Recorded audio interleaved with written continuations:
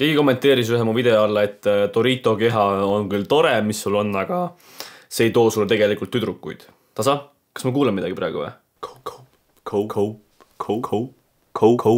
vaata, me kõik teame, et keha ja mõttemaailm on omavahel seoses. kui sa oled väliselt ebatervislik, siis sa oled ilmselt sisemiselt ka Dorito keha, ehk siis mida, mis see tähendab üleüldse? niisugune keha, mis on atleetlik, on lai, kuhu on pandud palju tööd sisse see kõik sümboliseerib jõudu, distsipliini, järjepidevust, tugevust, vaimset tugevust, pingutusi, ohverdusi ning ütle mulle, kas need ei ole siis head karakteriomadused, mida omada? ning nüüd mõtle, mida kuradit sümboliseerib skinny fat nuudli kätega keha?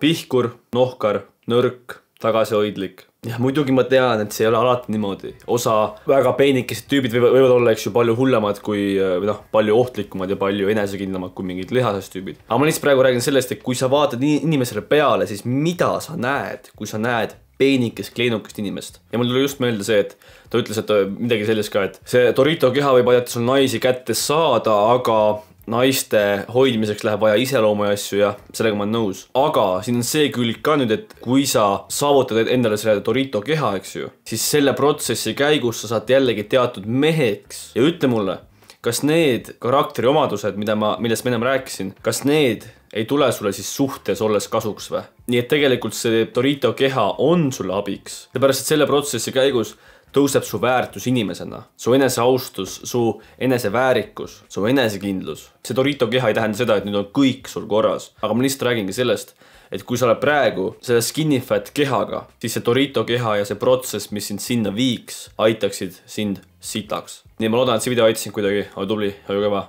ja näeme juba varsti, davai mees